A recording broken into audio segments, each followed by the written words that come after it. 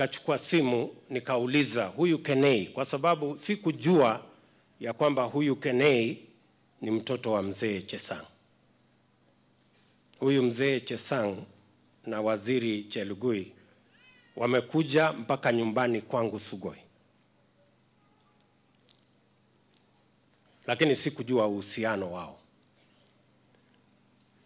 Nikaambiwa huyu kijana anatoka Solai.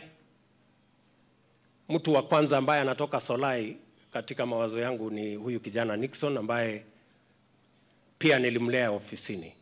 Wakati alitoka university, alikuja akafanya kazi ofisini kwangu.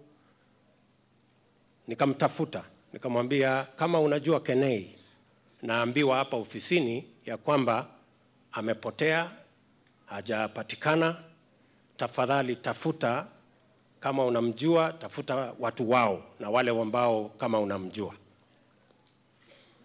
Nikaambiwa hapo hapo pia ni relative wa waziri.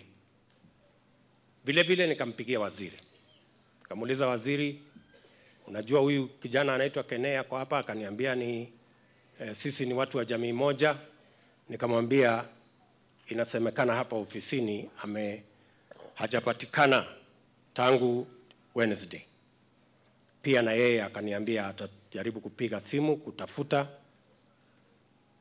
na mambo yakaenda hivyo.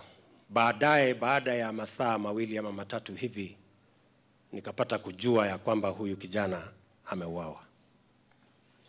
Na mimi nataka niseme kwa familia, poleni sana, na poleni kwa watu wa hapa Solai. Ile mimi nitasema akiwa ni mtu ambaye alinifanyia kazi na nikiwa pia naibu wa rais wa Jamhuri ya Kenya, wenye kuchukua maisha ya huyu kijana watapatikana.